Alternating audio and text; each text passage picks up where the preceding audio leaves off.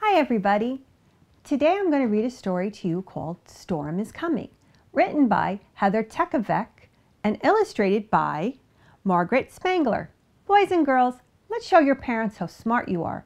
What's the job of the illustrator? To draw To the draw the pictures. Excellent. The old farmer leapt out of his chair and clicked the radio off.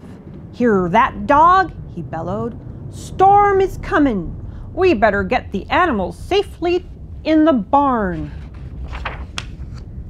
Dog sprang to his feet and bounded out the door.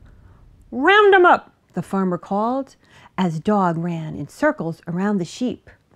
Storm is coming, Storm is coming. barked Dog. We have to get to the barn quickly. Frightened, the sheep raced after the dog towards the barn. On the way, they passed the pond where Duck was paddling.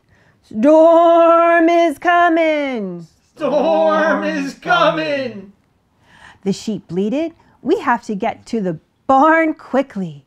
Duck flapped up the grassy bank and flew ahead of the sheep. The cows in the pasture looked up as the animals sped past.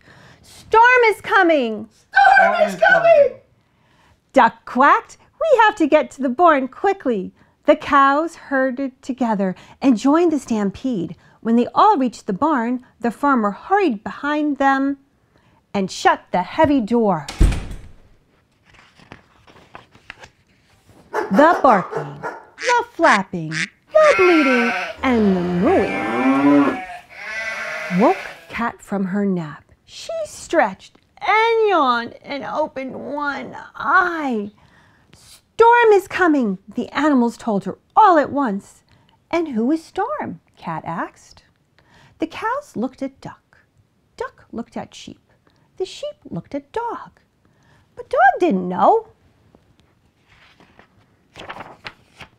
Well, he must be very mean, Dog decided, moving to guard the dog.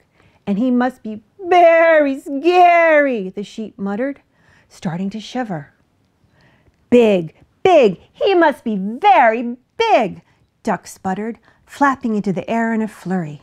The cows just laid in the corner and moaned. Cat yawned again. Wake me up when he gets here, she murmured and drifted back to sleep. The animals waited and listened, but there was no sign of storm. We need a lookout, Dog barked. Duck flew up to the open window and cautiously peeked out. No storm, no storm, he quacked, but the sky is growing very, very dark. Oh no, bleated the sheep.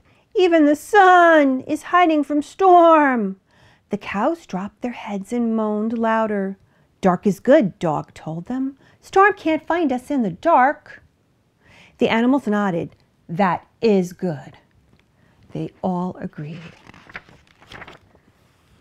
Duck called down again.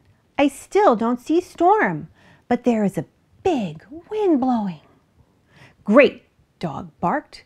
The wind will blow storm away. The cows lifted their heads and the sheep stopped shaking. But then they heard a heavy tapping on the roof. Storm is knocking, the sheep cried. No, no, no. It's only the rain, Duck informed them. Dog nodded. The rain will wash away our tracks, so Storm can't follow us. He added. The cows and the sheep listened for a moment. Then they nodded in agreement. One more time, Duck called down. I still don't see Storm. But the sky is flashing. The sky is going to blind Storm so he can't see us, Dog announced. The cows scrambled to their feet and the sheep started shuffling. A roll of thunder shook the barn. Hear that, Duck? Dog barked. Yes, yes, Duck quacked.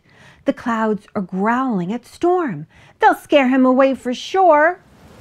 All day long the wind blew, the rain fell, the lightning flashed, and the thunder rolled. And through it all, the animals cheered. Hooray! Hooray! But then everything stopped. The sky went silent, and so did the animals. They waited and listened, and Duck flew down to huddle with the others. Thump, thump, thump. Someone was coming towards the barn. Click, click, clank. Someone was coming in. The animals backed into the corner. This was it. Storm had come to get them. The door swung wide open, and the animals gasped.